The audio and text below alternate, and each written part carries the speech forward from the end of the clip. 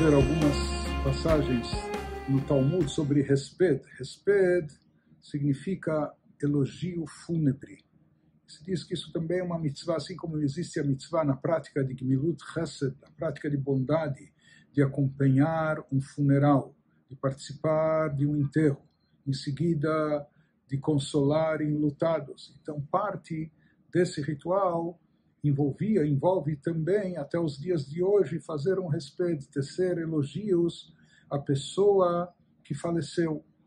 Então, falando sobre isso, nós temos um tratado talmúdico que versa sobre essas leis, Moed Katan 27b. Lá ele nos diz, trazendo um versículo de Jeremias, Altif kulamet bealtanudulo, não chorem de forma excessiva pelo falecido o que, que significa isso? Altifkulamete yotermidai, altanlo yotermikashiur hakeitzad. Pelo visto, é, há uma medida para isso. Isso é interessante. Será que pode se estabelecer uma medida padrão para o sofrimento pela ida de um ente querido, de uma pessoa próxima? Mas nós encontramos na Allahá medidas para isso, como impondo até limites.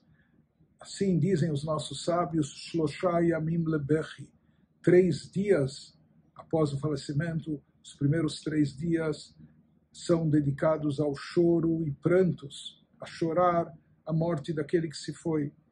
Veshivale Resped, sete dias, é o chamado Shiva, a semana de luto após o falecimento, são voltados para eh, tecer esses elogios fúnebres, falar sobre a pessoa que partiu. Shloshim, depois nós temos até o Shloshim, o primeiro mês, leis de luto, quando ah, fazem a barba, não cortam as unhas, ou eh, não, não vestem roupas novas e passadas, etc. E, pois, para pai e mãe existem leis mais extensivas de lutos que se prolongam até durante um ano inteiro. Mas, de qualquer forma, Mikan Vaelach, diz o Talmud, mais do que esses limites, Deus fala para nós, Einatem Rahmanim Bo Yotermimeni, vocês não são mais misericordiosos pela alma do falecido ou da falecida mais do que eu mesmo. Como que Deus dizendo, se eu estou falando para vocês, eh, guardem três dias para os prantos e choros, ou guardem sete dias de luto e elogios fúnebres, etc. Porém, não excedam e não exagerem demais no luto. Esse é o período estipulado para cada uma das práticas de luto, conforme nós encontramos no Talmud e na Alahá também. No Tratado Sanhedrin 11b, se conta que quando faleceu um sábio nosso que era conhecido como Shmuel Akatan, Shmuel Samuel o Pequeno. Por que, que ele levava esse nome? Eu tinha esse apelido. Porque ele era uma pessoa extremamente humilde. E ele se, se tornava, fazia de si mesmo, e de fato, de verdade, pequeno diante de todos, tão modesto e humilde que ele era.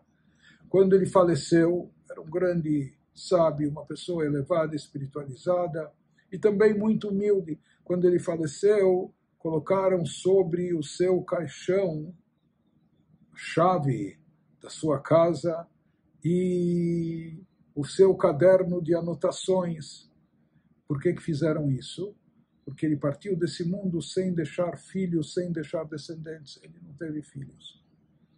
Veio Rabban Gamliel Azaken, vieram sábios nossos da geração, daquela geração, para tecer elogios fúnebres sobre ele, sobre Samuel o pequeno, Rabban Gamliel, o velho Rabbi Eliezer, e assim disseram, Alzena Elifkot, sobre uma pessoa assim cabe chorar e prantear.